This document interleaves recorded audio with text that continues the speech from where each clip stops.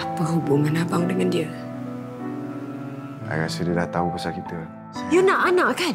I dah bagi you zuriat. Apa lagi yang you nak? Even you pilih Haris sekalipun, I tetap akan sokong you. I rasa kita kena stop semua benda ni. You tahu tak you buat apa ni? Ha? Apa hubungan awak dengan Farah? Ramona binti Tahir.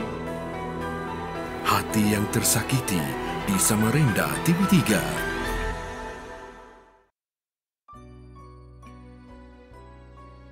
Hati yang tersakiti ialah sebuah seri drama televisyen Malaysia tahun 2020. Arhan Feroz Kadir dibintangi oleh Remy Ishak, Nat Zainal, Mimi Lana dan lain-lain. Seri ini telah memulakan tayangan di slot Samarinda TV3 pada 15 Oktober 2020 dan minggu ini adalah merupakan minggu terakhir. Drama ini karya Azril Hamzah. Drama ini mengisahkan mengenai Haris dibintangi Remy Ishak. Dahulunya seorang penghantar surat. Berkat usahanya, dia berjaya menjadi seorang usahawan teknologi maklumat IT. Mona, lakonan Nat Zainal, pula seorang lepasan kolej yang bekerja sebagai perunding majlis.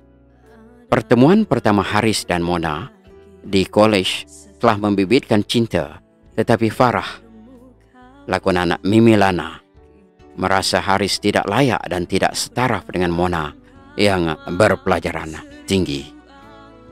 Farah pernah memperkenalkan Mona kepada anak Datuk. Malahan dia sendiri memilih anak kepada seorang Tan Sri sebagai suaminya. Farah tidak menjemput Mona ke majlis perkahwinannya. Dia juga tidak hadir ke majlis perkahwinan Mona dengan alasan bekerja. Selepas berkahwin dengan Adrian, lakonan Riz Amin, Farah sudah tidak menghubungi Mona. Masing-masing telah membawa haluan sendiri dan tidak bertanya kabar berita.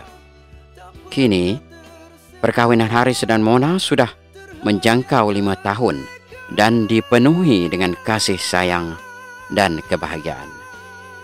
Haris tidak pernah melalaikan tanggungjawabnya sebagai seorang suami, cuma mereka belum berpeluang mendapatkan cahaya mata sebagai pelengkap perkahwinan. Farah pula menjadi seorang model terkenal dan masih tidak mempunyai anak. Malah dia sekarang di dalam proses perceraian.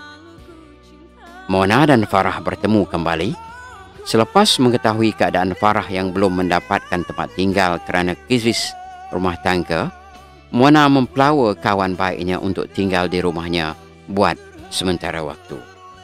Haris tidak senang dengan kehadiran Farah kerana ia akan mengganggu privasi mereka dan mula menetapkan syarat kepada Farah.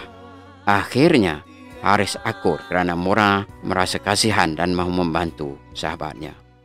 Farah berterima kasih dengan keprihatinan yang diberikan kepadanya. Lama kelamaan, dalam diam, Farah mulai mencumburai kesempurnaan yang dirasai dalam rumah tangga Mona dan makin lama dia juga ingin memilikinya. Sama-samalah kita ikuti apakah kesudahan kisah cinta tiga segi antara Haris, Mona dan Farah. Minggu ini adalah merupakan minggu terakhir drama Hati yang Tersakiti yang sudi memeriahkan channel saya. Jangan lupa untuk komen, like, share dan subscribe Zam Production Channel. Jumpa lagi.